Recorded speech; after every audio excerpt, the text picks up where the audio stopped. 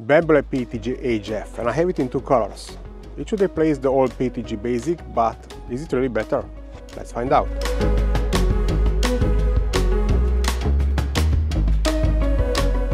Hello, and welcome back.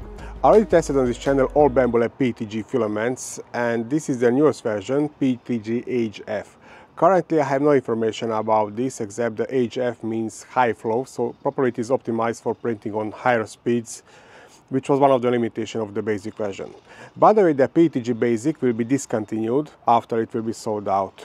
And I'm curious if this HF has the improvement only on printing on higher speeds or it has some advantages in mechanical properties too. As you can see it is available in two colors, so we have some color comparison too. But I have a small problem because uh, I'm recording this two days before my traveling holiday and after I'm back from my holiday in two or three days they're expecting this video on the date of the announcing. And for my creep test actually I need seven days where I'm measuring these test objects every day. Well this will be a difference so I measure only first two days and after eight or nine days. And uh, for better comparison, I will have their test objects from the PETG Basics and PLA Basics.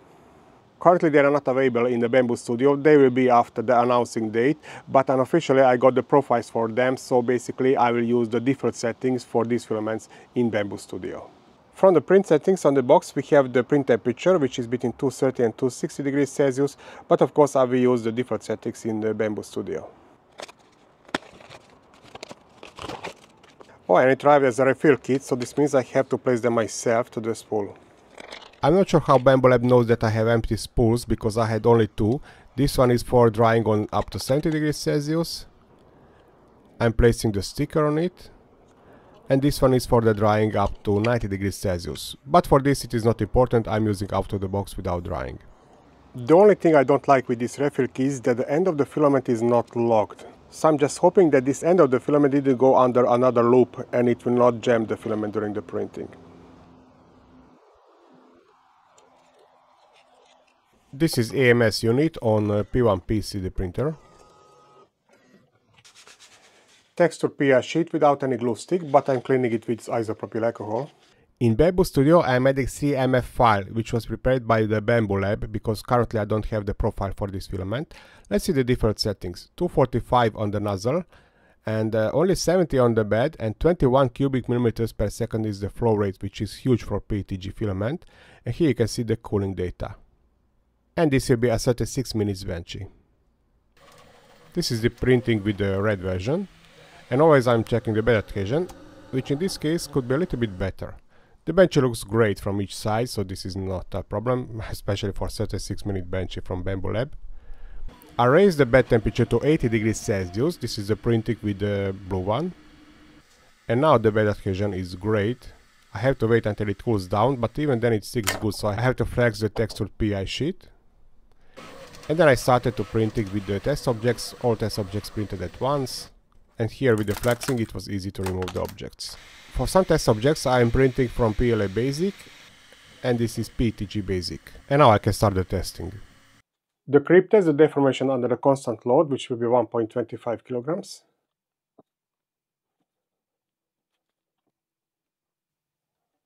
Sixteen fifty three, sixteen sixty three, similar. Seventeen sixty six, more deformation. This is after one day, the biggest deformation I can see on PETG Basic.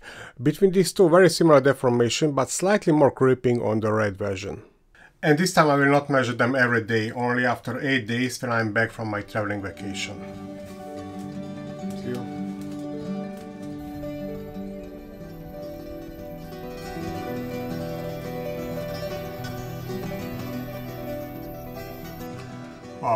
After exactly 9 days, without overnight ventilation in this room and air condition, the max temperature was 32 degrees Celsius and this is too much for the PLA, I can see a biggest deformation on this material. Between these PETGs, the basic has the biggest deformation and the smallest is on the blue one. Now let's remove the load. After 10 minutes, the permanent deformation on PETG filaments is very similar, but of course on PLA it is huge. It is 5 in the morning because during the day it will be 35 degrees Celsius and I like to do these measurings around 20 degrees Celsius room temperature plus minus 5 degrees. Usually I wake up much later, it is very rare that I can see the sunrise. Tensile test with the horizontally printed test objects. And on the screen you can see the average values. This is the blue version. Mm, similar break load. And now this is the layer adhesion test. These test objects are printed in vertical position. This is again the blue version. And now the shear stress these are horizontally printed test objects. And now the same shear stress, but with the vertically printed objects. Here the layer adhesion is very important. And here I will also include the PLA and PETG basics to extend that database for my Patreon supporters. Side by side all four test objects. And now the torque or twist test. These are horizontally printed test objects. I'm measuring the torque at 90 degree rotation and the maximal load. and these are printed in vertical position so the layer adhesion is important here and I have here four test objects here you can see them side by side interesting to see that horizontal I can make one and a half twist and with the vertical they broke immediately three point bending test and here you can see all loads placed but I place them one by one and I'm measuring the deformation after 130 and 60 seconds. Position of the camera is not really the best but if I enlarge the image I can see the numbers and here you can see the load under 10 kilograms and you can see it constantly deforms. And after this they have some permanent deformation, uh, it is visible. The temperature test in the oven and I want to record the temperature of the first deformation. This is a speed up time-lapse video and in both cases they start with the deformation at approximately 64 degrees Celsius. On 100 degrees Celsius I stop the experiment, I remove this M10 nut as a small load and for the feeling they are very similar, after a 1 minute only I can even touch them. No difference between them in this test. And now the IZOD impact test with these notch test objects. And a small disclaimer here. These results are not really comparable with the numbers from the company's datasheet from two reasons. Uh, the first one is that usually the companies are using the Charpy impact test, which is a little bit different. There the test object is supported from two sides and the braking energy is higher compared to the IZOD impact test. The second reason is uh, the geometry of my hammer. It's a little bit different, mm, so these results are good to compare them with those which I made in earlier videos using the same equipment. Actually, I bought our industrial impact testing machine. This is for the IZOD. And also in the box, I have the another one which is digital and it is able to measure the IZOD and the Charpy impact test, but they are not prepared yet. And if you are following my earlier videos, in that case you know that uh, the PLA Basic is tougher material compared to the PETG Basic, which is quite brittle. Let's see how this uh, HF version performs here. Right. Zero position. Blow. Pity I didn't record it. From here to here, three point shot in both cases. The scale, zero position of the hammer, after breaking the red test object, the blue one, and if I measure everything from the zero position, this is the age to calculate the braking energy. And from here we can see that the blue is a slightly tougher material, but in both cases they are very brittle compared to the PLA materials. And now the results, and this Excel table you can download from my techfun.com website, and as always these two lines will be added to that summary table for my Patreon supporters, so they can easily compare these results to those which I did in earlier videos, but even here I will include uh, some data for PETG Basic and PLA Basic from my earlier videos. Let's start with the creep test, and I already mentioned that I measured only on day 0, 1 and uh, 9 days, and uh, even here we can see some interesting results. The PLA Basic has the smallest SAR deformation, but thanks to that bigger room temperature, it has quite a lot of deformation after 9 days. Between PETG filaments, the PETG Basic has the biggest deformation. Between the red and blue, uh, we can see the similar star deformation, but after 9 days, slightly more creeping with the red version. On tensile test, here I included the data from my earlier videos, and we can see that uh, the red and blue has very similar tensile strength, uh, but they are better compared to the PETG basic. And as always, PLA is stronger in this test compared to the PETG. On the layer adhesion test, uh, well here we can see some difference between red and blue, and this will be confirmed uh, even later on the other tests. On shear stress with the horizontally printed test objects, uh, we can see that uh, only here the PETG basic was better compared to the HF versions, and uh, these two are very similar. On the vertically printed, where the layer adhesion is important, well again we can see that the red one has a slightly better layer adhesion compared to the blue one, but in both cases they are better compared to the PETG basic.